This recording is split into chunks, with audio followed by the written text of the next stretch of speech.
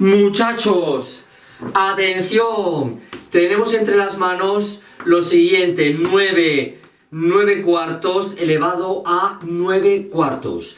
Y dando una serie de pasos, ya veremos cuáles, eh, queremos simplificar esto, ¿eh? Esto, esto no es manejable.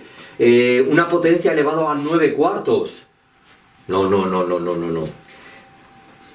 Empecemos. Empecemos. 9 cuartos. 9 cuartos. Hmm. Eh, 9 cuartos. 9 cuartos. Eh, puede que os deis cuenta que es... Eh, pues eh, fíjate, 9 es 3 por 3, 4 es 2 por 2, y, y, esto puede ser escrito así, ¿eh? 3 medios por 3 medios. Es decir, 3 medios al cuadrado.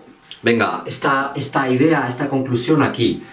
9 cuartos es lo mismo que 3 medios, 3 medios al cuadrado. Y esto a su vez elevado a 9 cuartos. ¡Fabuloso! Eh, limpio aquí, limpio aquí. Y ahora, y ahora vamos a aplicar una propiedad muy interesante. Cuando tenemos algo elevado a cierto exponente, o cuando tenemos una potencia, pero esa potencia está elevada a otro exponente, siempre que la base sea positiva, eh, no hay ningún problema en decir lo siguiente. Eh, lo digo porque si la base es negativa, puede que esto no sea verdad, pero como la base es positiva, esto es verdad. Estamos hablando de números reales. Bueno, pues venga, venga, aplicar esta linda propiedad. 3 eh, medios elevado a 2 que multiplica a 9 cuartos. pero 4 es 2 por 2. ¿Cómo me está gustando? ¿Cómo me está gustando? Eh, un segundo, un pispas con as, esto me va a gustar más. Eh, pas pas, y esto entonces se puede escribir como 3 medios elevado a 9 medios. 3 medios elevado a 9 medios. Llegamos a un momento, un momento crítico, ¿eh? Atención, atención. Ese, ese exponente, ¿cómo molesta? Eh, está claro que, que 9 medios eh, puede ser escrito de muchísimas formas.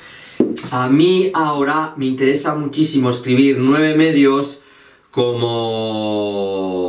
Eh, fijaos, eh, un momento, un momento. 9 es 8, 8 más 1, ¿verdad?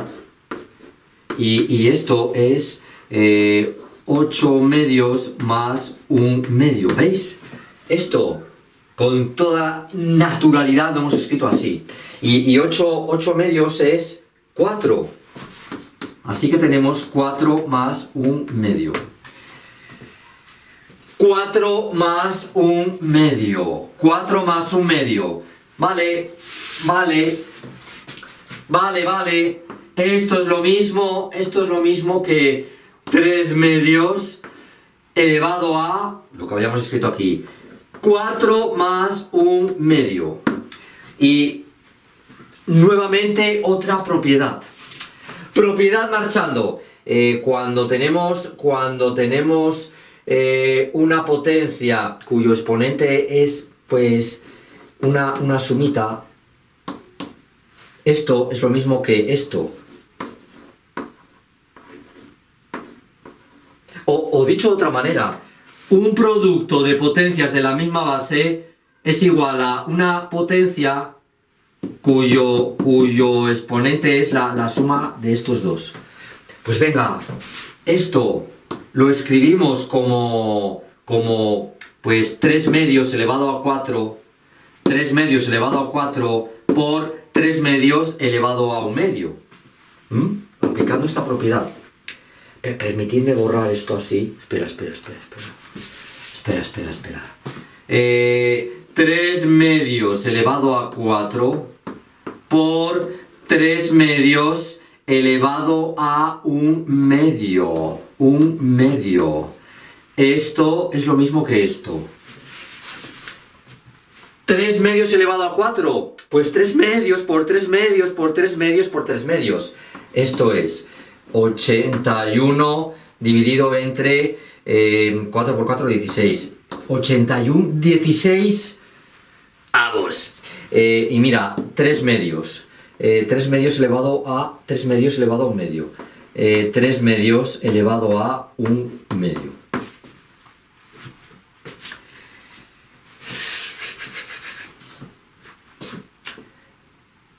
Podríamos utilizar aquí otro tipo de notación completamente equivalente. mira, voy a hacerlo para relacionar el final de este ejercicio con algo que los profesores y profesoras eh, les gusta pedir mucho, que es racionalizar. Eh, mirad, eh, lo que tenemos aquí, lo que tenemos aquí es lo mismo que esto. Lo mismo, lo mismo. Y esto que hay aquí, esto que hay aquí, es lo mismo que esto. Tenemos aquí un sombrerito para dos señores. ¿Por qué no poner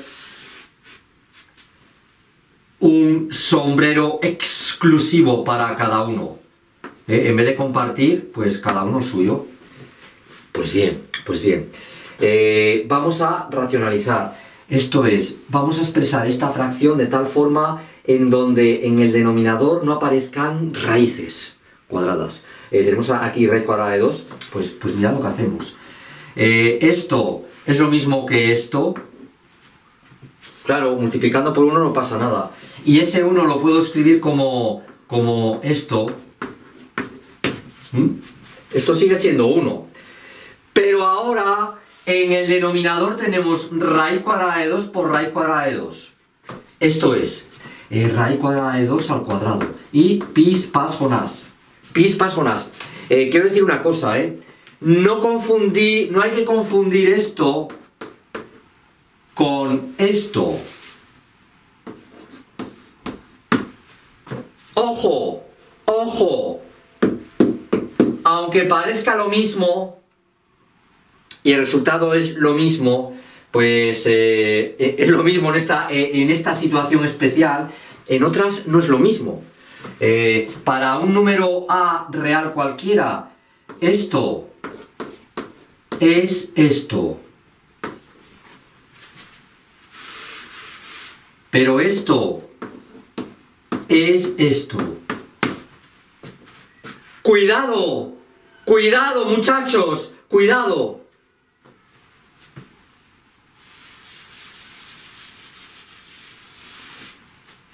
Eh, sí, prosigo, prosigo.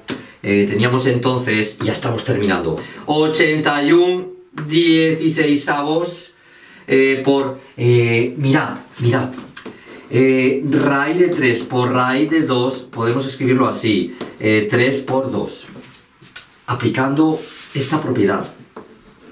raíz cuadrada de A por raíz cuadrada de B, esto es lo mismo que raíz de A por B. Cuando A y B son números reales positivos, ningún problema en hacer esto, en aplicar esta propiedad. Para otros casos puede que haya problemas, ¿vale? Bien, pero como A y B son números reales positivos, ningún problema. Eh, luego, esto que hay aquí lo expresamos así. 3 eh, por 2.